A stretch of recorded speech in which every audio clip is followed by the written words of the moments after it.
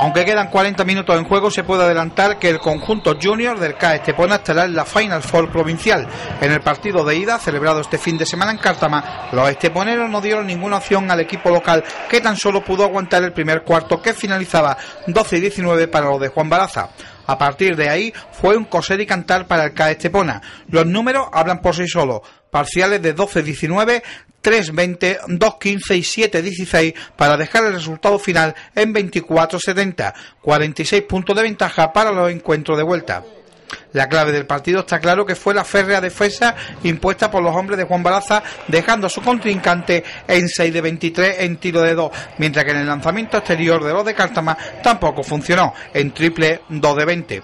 Por su parte, el K se hacía con el poder reboteador, 41 rebotes de los cuales 23 fueron en defensa y 18 en ataque.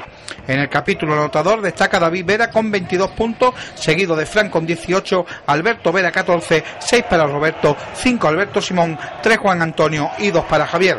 Este viernes tendrá lugar el encuentro de vuelta y ya espera el rival para la Final Four, una Final Four que aún no tiene sede asignada, pero que Estepona la ha solicitado a la Federación junto con la Final Four preinfantil, en donde el conjunto que dirige Cazorla está a punto de meterse.